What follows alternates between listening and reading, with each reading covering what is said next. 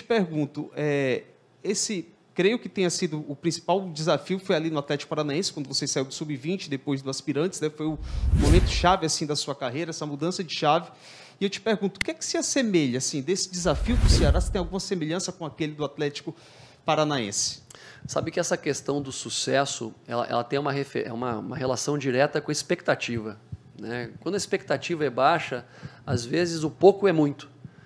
Então, uh, essa questão né, de ter vivido um, um, momento maravilhoso no Atlético, né, com a conquista de quatro títulos, seis, uh, cinco finais e quatro títulos, foi algo extraordinário, mas que foi crescendo paulatinamente, foi acontecendo.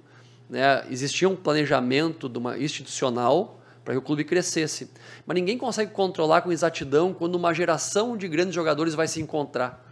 Né? Não, é, não, é, não é isso não é matematicamente calculado. Ó, a gente vai hoje ter quatro, cinco jogadores exponenciais da base, somado com jogadores experientes que ainda têm fome, querem mostrar, querem provar, somado com um jogador que daqui a pouco é desconhecido, que vem de fora e encaixa. Então isso aí não, não tem tanto planejamento. O planejamento institucional de manter a equipe crescendo uh, fez com que em algum momento isso acontecesse. Sabe? Então talvez essa seja a maior semelhança, a, a busca por crescimento.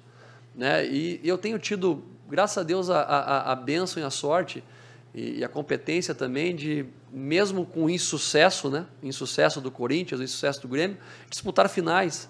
Nos últimos três anos eu disputei oito finais, sabe? E, e é, um, é um número para mim significativo, porque é tão difícil você chegar numa final.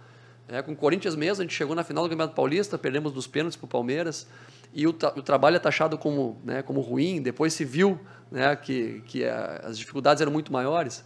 O Grêmio, em 74 dias, o máximo que foi possível se conseguir foi um título do Campeonato Gaúcho, um título da Recopa Gaúcha, melhor campanha da primeira fase sul-americana e classificar o time para as oitavas da, da Copa do Brasil, né? além de mais de 20 casos de Covid e coisas que acabaram acontecendo por lá.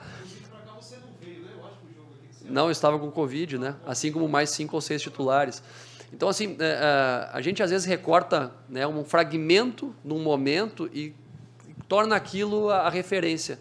Né? E existem contextos né, em cada momento, em cada circunstância, responsabilidade do treinador, sem dúvida alguma, né?